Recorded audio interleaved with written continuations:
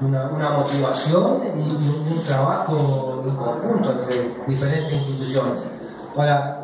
este va a ser un fin de semana de varias escapadas en la provincia de Misiones y en este caso puntual en Alep, ¿no? la fiesta provincial de la cerveza, donde en definitiva la cerveza aparece como, digo yo, como una excusa porque tiene que ver con eh, una, lo que tiene con las manifestaciones culturales, con una tradición, este, pues 43 años ya eh, habla de, música, de baile, eh, es decir, es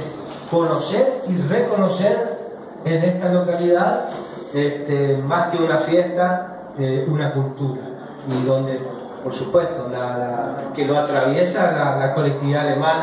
a, lo que tiene que ver con esta cuestión. Así que bueno, hecha la, la invitación, el fin de semana en Alem, una de las alternativas en, la zona centro, eh, así que la verdad, felicitar al intendente, a la comisión,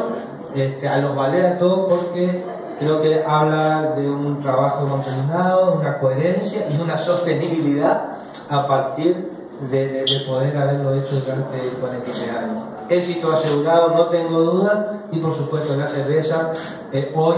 ya es parte de la fiesta, parte del esparcimiento en esto que es la provincia de Así que bueno, muchísimas gracias